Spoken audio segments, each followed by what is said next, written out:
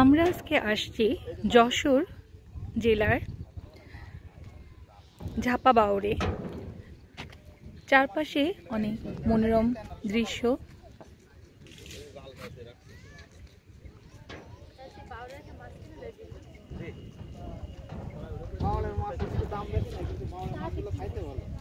এই ঝাপা বাউরের এক পাশে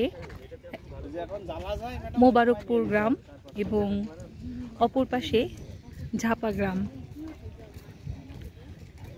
ঝাপা বাউরের আশেপাশে অথই পানি এবং এখানে মাঝিরা মাছ ধরে এবং স্থানীয় মানুষ যারা থাকেন, স্থানীয় যারা থাকেন, তাদের মাঝে মাছটা বিক্রি করে থাকেন।